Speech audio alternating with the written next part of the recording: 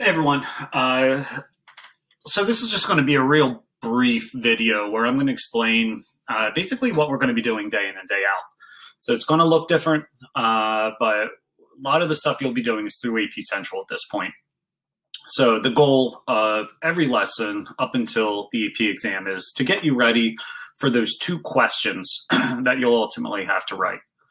So um, nothing's really going to be through Canvas. This is going to be like your prep work to make sure you can get uh, that three, four, or five, and hopefully some college credit out of this course. so you're going to get two things each day. Uh, the first is going to be a quiz, and then the second thing is going to be an activity that's going to uh, get you to rework with the essential documents that you need to know. So first thing you're going to need to do is get set up on the page. I'll put all this on Canvas as well, um, but you're going to be in Spring. I think it's section four. I'm going to give the code, things of that sort. So expect to do everything through the AP board. Now, this is my first time really using their resources like this. Uh, so uh, I need to make sure I set everything up right. And if I didn't, reach out, let me know. Uh, help me out with that, please. So first thing, you're going to get a quiz. Now, this first one's 35 questions. And I think, like, in total, there's like over 900 questions. So, like, these will be great, uh, you know, resources for you to use. I think I set them up so you can take them multiple times. Let me know if not. Where I'm really looking for these to help you be thinking about the second question, which is the concept application. So I'll eventually come up with like actual like types of questions that you could prep for. But first, I want you to become reacquainted with the information. So I'm going to try and match up uh, the quiz along with the uh, essential reading that you're going to go through a second time. So these are all just like unit one type questions. And it's going to force you to rethink about information that we've learned thus far. I mean, you just take a look at question one. According to James Madison, which of the following best controls the effects of a faction? Now, this is a great question because it's getting you to think conceptually. We're thinking big picture here. We're not even talking about necessarily the nitty gritty of government and Congress and how it all works and things like that. But like, what is it that we new, need to do to make sure that we have these major factions, or excuse me, that we can have this? I'm thinking about the answer in uh, me talking here, so I'm thrown off there. But basically, like, conceptually, uh, broad idea wise, like how do we control these different groups of people that have these different views in this country that we're creating?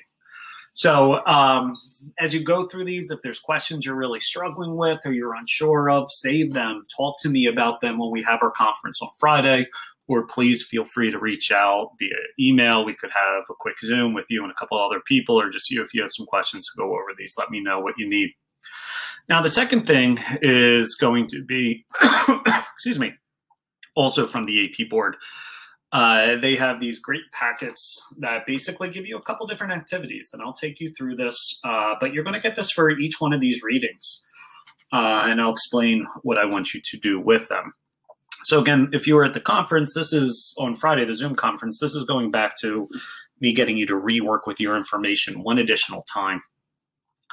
So first and foremost, uh, I'd say go back to the original uh, PowerPoint, the original activity we did with the reading first.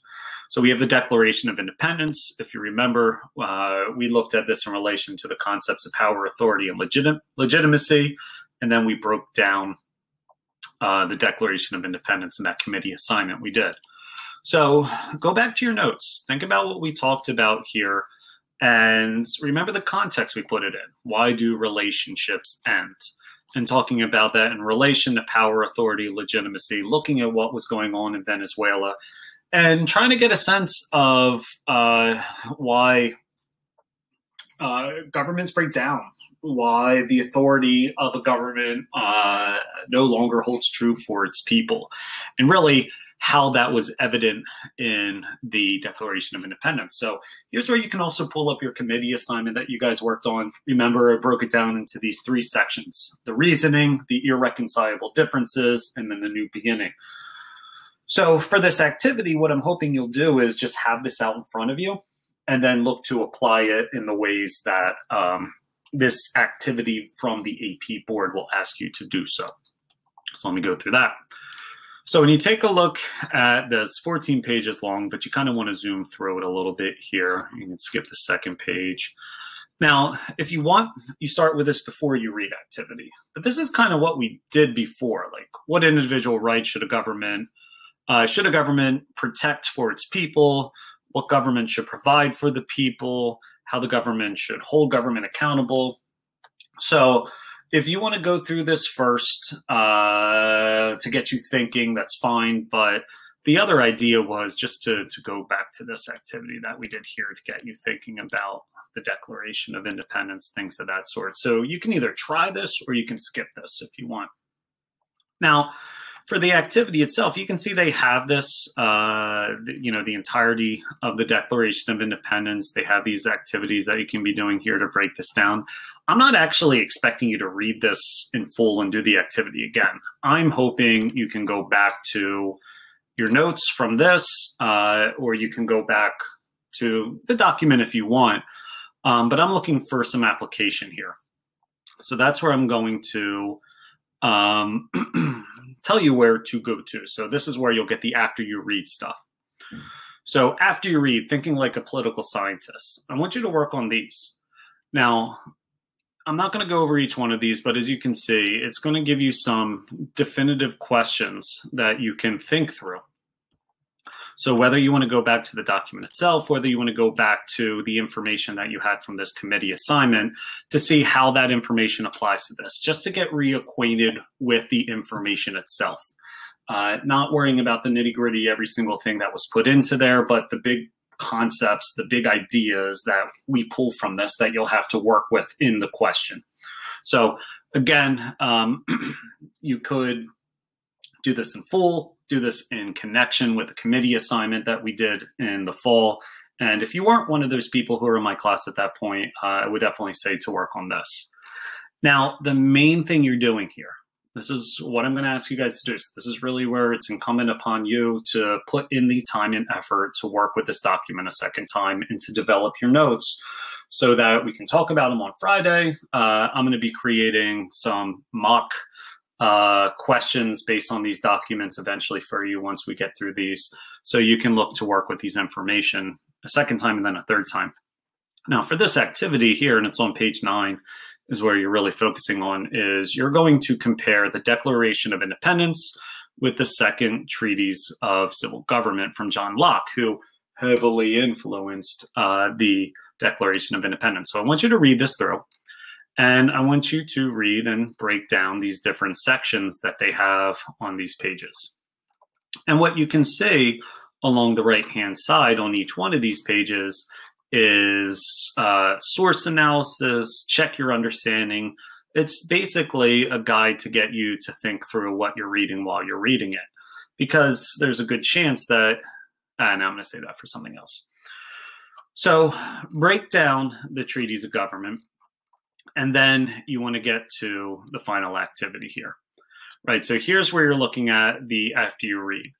And this is basically asking you to pull out the same major concepts uh, from the Second Treaties of Government, very similarly to what you did with the Declaration of Independence. And then ultimately, what it's going to ask you to do is to make connections. And this is the key thing I want you to walk away with. I want you to have a Venn diagram where you're taking the broad concepts from the Second Treaties of Government and from the Declaration of Independence. So, um, if you do not complete that activity on the Second Treaties, you obviously can't do this. So here's what I would do is I would go back to this activity. I would take out these key concepts that we put into here, or that we took out here, and I'm going to put that into context with the Second Treaties of Government. And I'm going to look for all the similarities and differences between these two and ultimately uh, answering this question according to what you read in Jefferson and Locke, how are liberty and order balanced in the social contract? So, in other words, what makes a good government a good government? Because um, that's the key takeaway that you need to have here regarding this document. As this was our way of saying to the world, we are, you know, getting rid of this government to form this new one for these reasons. So, what are those core concepts that are embedded? Now, one last thing, because I'm not going to put videos up talking about these, explaining these. Um, think about questions that you have. Uh, email me, post a Padlet, whatever you need. Um, bring them to the conference on Friday, and we'll talk this through. So do this with a partner, do this with the group, um, but really think about getting prepped, setting up your notes uh, for this upcoming AP exam you have. So I'm going to post this all on the Canvas, and I uh, hope you guys have a great day.